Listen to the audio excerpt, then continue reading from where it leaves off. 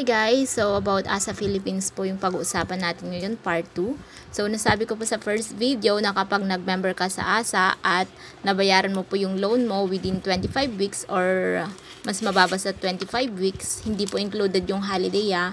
Basta 25 weeks po nabayaran mo, so libre na po yung isang hulog which is 5% ng total na inutang mo sa ASA. Ayan, kagaya po nito, 750, idadagdag po yan sa savings mo doon po sa ASA. Yan, pwede mo po yung i-withdraw. And then, napakaganda pa po ng ASA kasi kapag holiday like Christmas or New Year at nagkataon po na doon po yung time ng bayaran sa ASA, so hindi po sila nagpapabayad.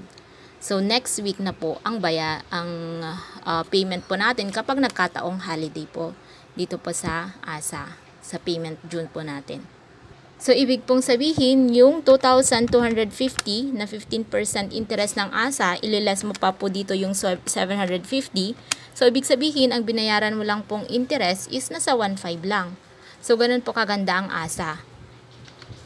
So, kung i-compute po natin, so, pag nasa 1,500 lang, yan, pag 1,500 po divided by 6 months po natin, so, ibig sabihin, pumapatak lang po na 250 ang um, interest po natin sa 15,000 worth na inutang po natin sa ASA.